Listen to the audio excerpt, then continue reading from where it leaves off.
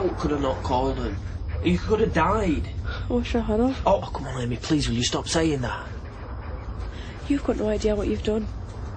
I had no choice. I couldn't just leave you like that. I trusted you. Come on, Amy, please. Uh, You're in shock. I mean, I'm borderline myself, but everything is going to be all right. How can it be? Lie still for me. Try and stay calm. Maybe your boyfriend here could give us a hand. eh? Whoa, hang on a minute. I'm not. We're not. Sorry. We are going to need to contact a next of kin. Yeah, I- I've done that. They're on the way. What? I'm sorry, I had to. What did you go and do that for when I begged you not to? You promised. Amy, you've got to trust us. We're all on your side. My dad and Valda will stick by you. I know they will.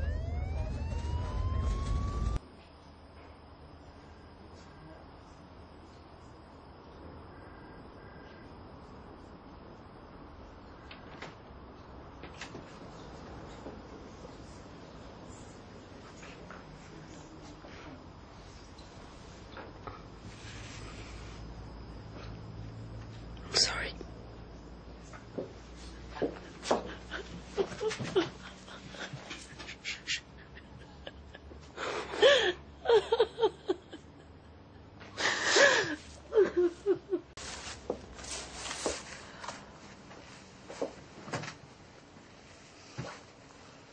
I don't blame you for hating this. All I've ever done is let you down. Try to sort things out, it didn't work.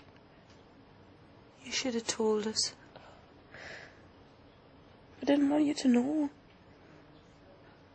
I had it all planned. I was going to get it adopted. And do the right thing. I didn't want you two involved. What do you think we were going to do?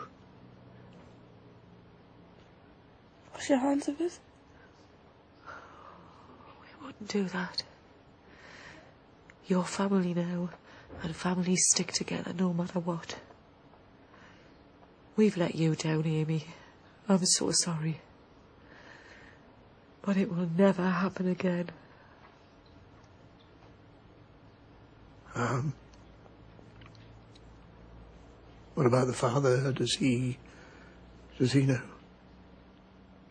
Well, we've got to ask. Um, I don't even know. It was one drunken, stupid night. I couldn't even tell you his name. Ah.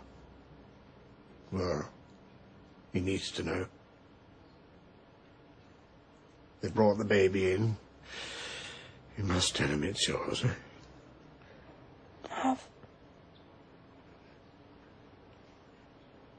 Are they going to arrest us? They'll have to get past me first.